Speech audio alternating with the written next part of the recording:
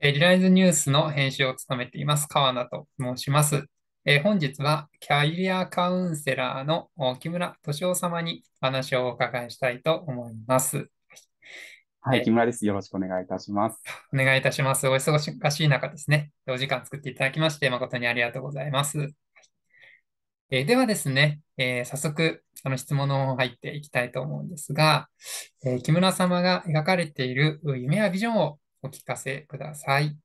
はい。あの、夢はですね、なんかちょっと大層なことを言っちゃうかもしれないんですけれど、例えば、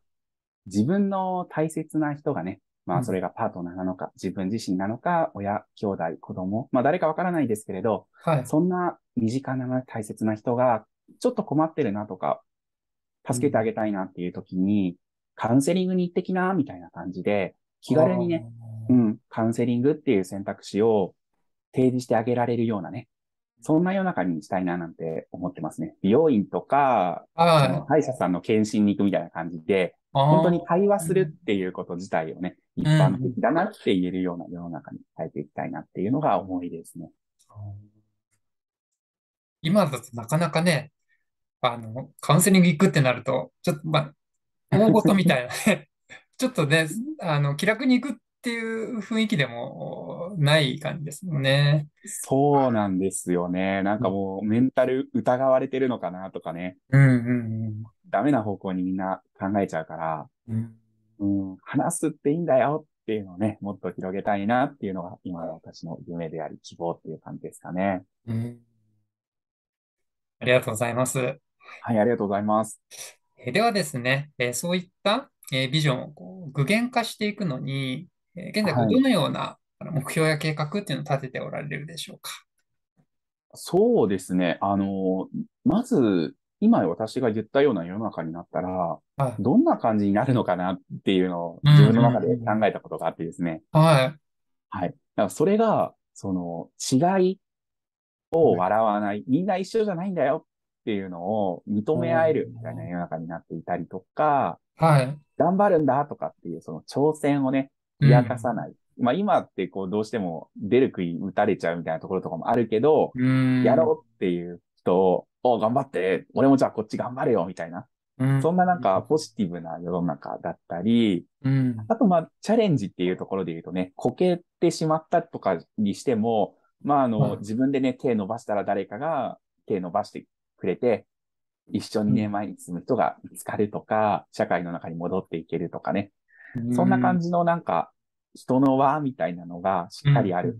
そんななんか世の中が、なんか理想というか、イメージされてるもの、目標としてあるんですよね。うん。はい。いや今お話聞いてて、やっぱりそういう人が周りにね、こういたりすると、まあ自分もこう、すごく生きやすいし、逆に自分もね、あの、こう、あの人をこう応援したりとかするっていうのは、うん、ね、本当にこう、なんか気持ちのいい、ね、えー、関係っていうのが、すごくこう身近に溢れる、でね、いいなって今、お話聞いてて感じました。ああ、そうですよね。うん、本当なんか、なんていうのかな、私たち今、私たちというか私なのかな。まあ、会社としてキャリアブリッジという会社にいて、今、生き方の支援っていう形ですごい唱えさせていただいてるんですけど、はい、本当になんかそんな時代来てるなぁなんてちょっと思ってて、うんうんうん、自分自身の価値っていうところ、やっぱりもっと自分ってどういう人なんだろうとか、うんうん、どういうところで役に立てるんだろうみたいなね、うん。うん、そういったのをなんか考え続けていかなきゃいけないのかなとか、自分が発揮できる場所でやっぱ活躍したいななんて思うのって、結構人として当然かななんて思うんですけど、そういうところもなんか支援できたらなとか、そういうことは思ってますね。まあ、計画の一部なのかもしれないですけどね。いやー、ほんとそうですね。うん。なんか誰もがね、こう、それいいねってなりそうですね。ね、本当に。本当、実際は、その、誰もがね、あの、それいいねって言ってくれればいいんですけど、やっぱりわざわざ1時間取ってとかね、時間取って知らない人と話すのはとかね、そういうなんかハードルもあるから、難しいんだとは思うんですけど、諦めたくない。うん。はい。まあ実際ももしかしたら、川野さんもなんかね、ちょっと話してみたいこととか、若干もやもやされてることとかもね、あるのかもしれないんですけど、はいはい。なん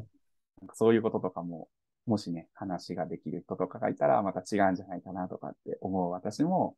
うん。いう感じですかね。うん。ありがとうございます。ありがとうございます。えー、では、あ、今のがそういうあのビジョンに対しての、まあ、目標とかに、そうですね。計画っていうところではちょっと付属してるんですけど。うん、はい、うん、まあちょっと計画っていうところで言うとですね、そんな大層なものじゃないんですけど、はい、やっぱり最初に言った通り、まだまだそのカウンセリングとか対話っていうのって、まだ世の中に浸透してない。うん、どっちかというと、そのネガティブな印象とかもたくさんあるのかななんて思ってて。うん。なんか、だからこそ、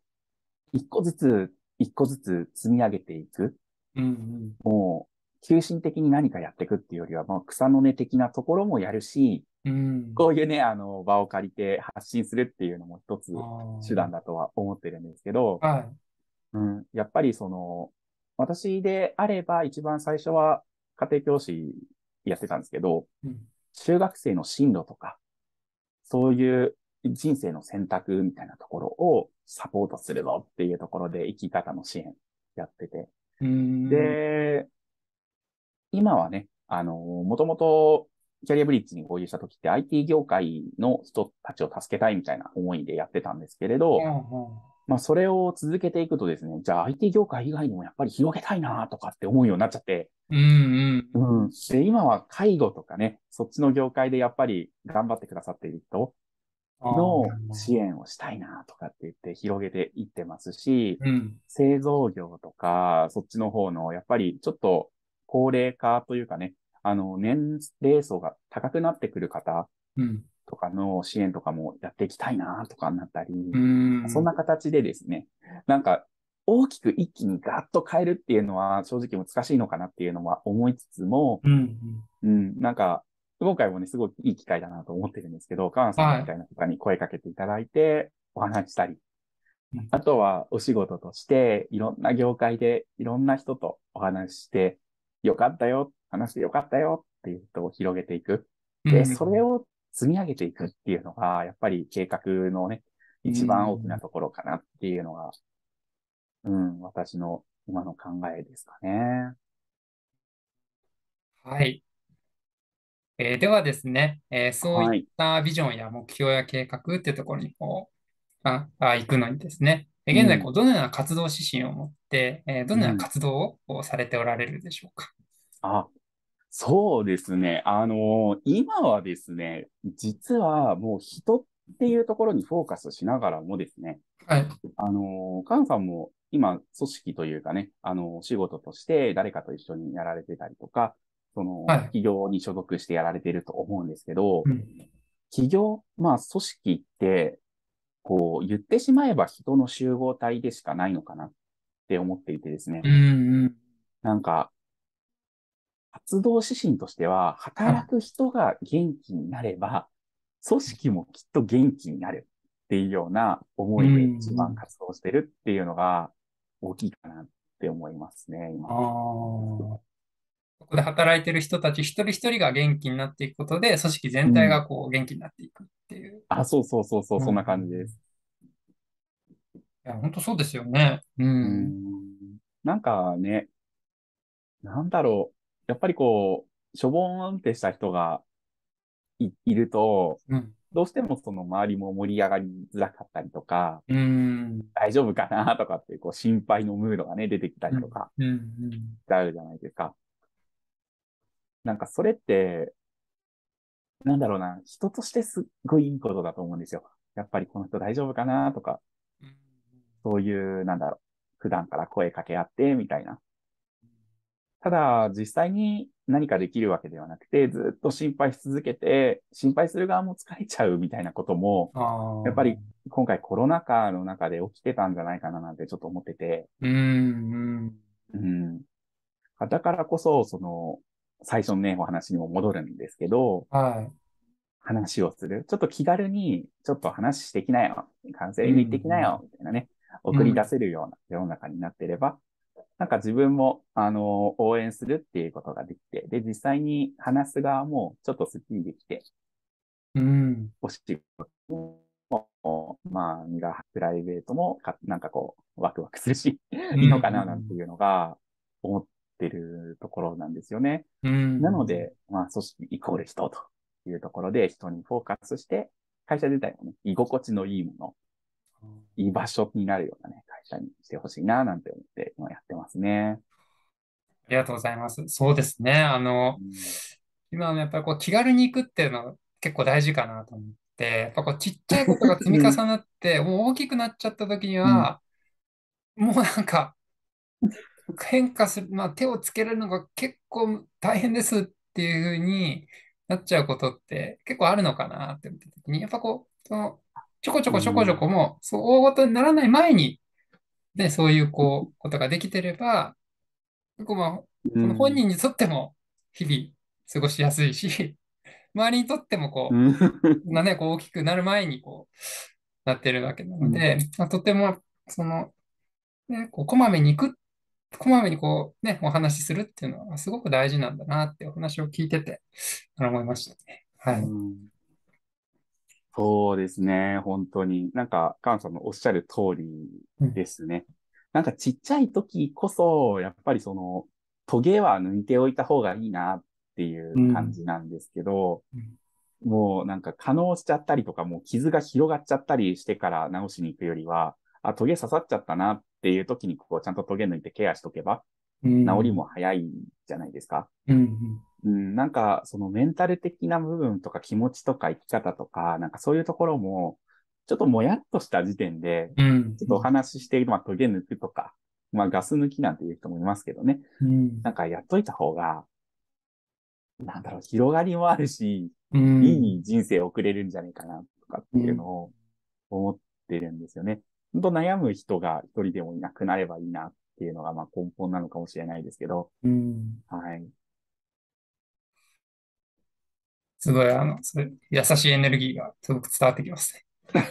ありがとうございます。まあ、ちょっと優しさだけじゃね、なんかできない部分もあって、うん、切ないところもあるんですけどね。うん、はい、もうできる限りは、まあ、前に進もうかなっていう感じですね。うん、えではあ、そういった今のこうビジョンやあ現在の活動をするようになった、うん、出会いとか、その中でのこう気づきとか、どういった発見が終わりだったんでしょうか？はいはい、ああ、なるほど。そうですね。なんだろう。まこれ、川野さんに聞くことでもないのかもしれないんですけど、はい。川野さんも、あの、心が折れたなとか、挫折しちゃったなとかっていう経験ってあったりされます？あ、ありますね。はい。ああ、そうですよね。なんか私も実はまさに同じでですね、はい。あの、そういう今回の夢とかビジョンを持ったきっかけって、うん、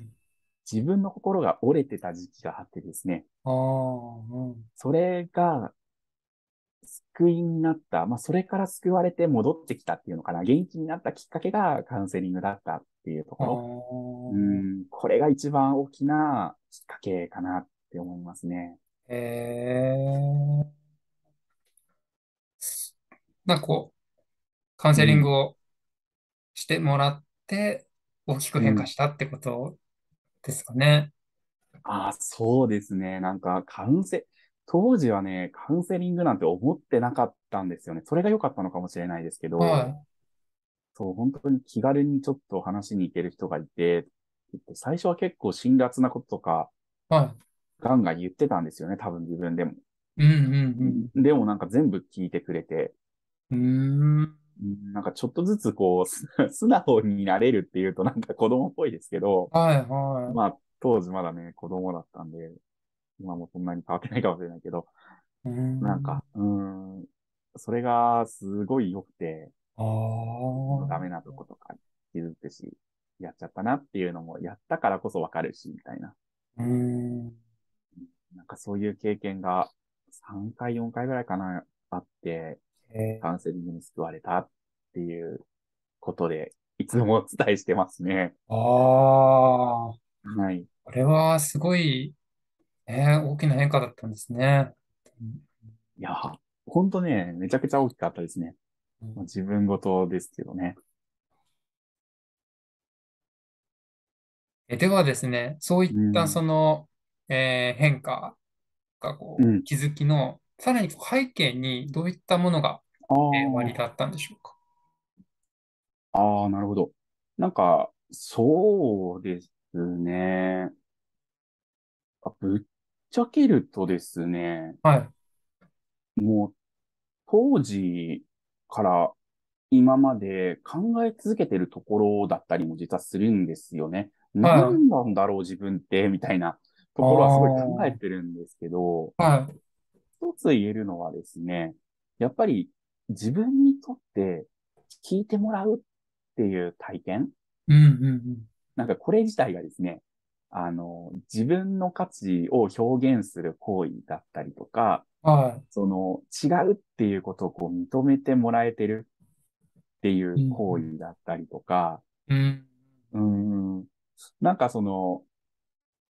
まあ、調整も冷やかさないみたいなこととかも言いましたけど、はい。なんかそういうところにすごい繋がってて、うん、役立ったから、役に立ったなって感じたんでしょうね、自分がね。ああ、その、えー、っと、話を、うん、話を聞いたことですごく役に立ったなっていう感じがあったってことですか、うん、あそうです。聞いてもらったっていうことが自分にとってめちゃくちゃ大きかったっていうだけな気はしますね。うん、うん、うん。なんか、所詮話聞いてくれるだけでしょっていう人って今も周りに結構いるんですけど、はい。自分にとってその話を聞いてもらうっていう体験が、うん、なんか多分一番良かったんでしょうね。自分の価値みたいなのも分かったし、うん、うん、今も表現できるようになったし、うんうんうん、すごく良かったなって思ってますね。なんか、なんだろう。ちょっと恥ずかしいんですけど、こう最後の方にね、こんな話するのも、なんかそのカウンセリングがあったからこそ、うん、自分の中にあったくすぶってたっていうのかな。はい。なんかその人の役に立ちたいなとか、うんうん、誰かを助けてあげたいなとか、うんうん、サポートしたいなっていう気持ち。はい。なんかそれがすごい具体的になって今人に言えるようになってるし、実際にそのお仕事にもつながってるし、うん。カウンセリングっていうのは私、ライフワークだと思ってるんですけど、はい、そういったものにもつながってるし、なんかその、うん、聞くっていう、聞いてもらうっていう体験かな。聞いてもらうっていう体験こそが本当に良かったんだろうなっていうのは、うん、うん、自分としての背景というかね、そういう考え方、聞いてもらうっていうことがめちゃくちゃいいなって思う自分がいたっていうのが一番大きい気がしますね。いや、本当に良かったんでしょうね。そう、本当に良かったんだと思うんですよ。うん。だからこそね、今そういうところで、今キャリアブリッジでも事業してるんですけど、うん、もうカウンセラーさんにもいつも言ってて、うん、聞いてもらうっていうところにすごい価値を出していきたいから、うん、聞くっていうのをいっぱい徹底してこうねって言って、今どうしよう、集ってるみたいな感じなんですけど、うん、そんな感じですかね。本当私が感じたのはね。ありがとうございます。とね、はい、話をその話すとか、まあ、自分が聞くっていうのは、なかなかその行為だけだと、やっぱ日常に溢れてることなので、うん、ね、なんかこう、大したことないじゃんみたいな、そのねっていうふうにこう感じやすい、えー、うん、ことかな、ことでもあるのかなってね、と、えー、思いますけど、でも実はそれがすごいね、力を持ってるっていうね。うーん。いや、ほんとね、そうだと思いますね。なんかこう、積み上げがね、結構やっていかないと感じられないものだからこそ、なんかまず気軽に受けてみてほしいとか、やってほしいみたいなね、気持ちはめちゃくちゃある気がしますね。うん。うん。ありがとうございます。本当ね、日常ってね、なんかこう、見方を変えれば、会話の連続っていうかね、コミュニケーションの連続で成り立ってるってずっと思ったときに、うん、そのコミュニケーションがね、こう、すごくこう、価値あるものなのか、それともこう、なんかこう、すればするほど、ね、元気がなくなっていくというか、うん。へこんでいくものなのかみたいなので、全然こう、変わってくる、きますもんね。うん。そうなんですよね。なんか、話してて、へこむ人って絶対で、相性が合わないとか、もう苦手な人って絶対いるんですよ。もう人類皆兄弟かもしれないですけど、うん、兄弟仲って悪くて当然みたいなとこってあると思ってて、うんうんうんなんか、だからこそ自分ってどういう人と相性ちょっと良くないんだろうとか、うんうん、どういう人が苦手なんだろうとか、どういう人に目をつけられるんだろうとかね。うん、そういうなんか自分が分かってるだけでも、だいぶ生きやすくなるんじゃないかなとかっていうところで、生き方の支援っていうのとすごいなんか繋がってるななんて思いながらやってますね、今もね。ありがとうございます。これからもぜひ、はい、あの、頑張ってください。ありがとうございます。はい。回いただけてありがとうございます。ありがとうございます。えー、本日ですね、えー、キャリアカウンセラーの、えー、木村敏夫様にお話をお伺いいたしました。貴重なお話、ありがとうございました。はい、ありがとうございます。こちらこそ、ありがとうございました。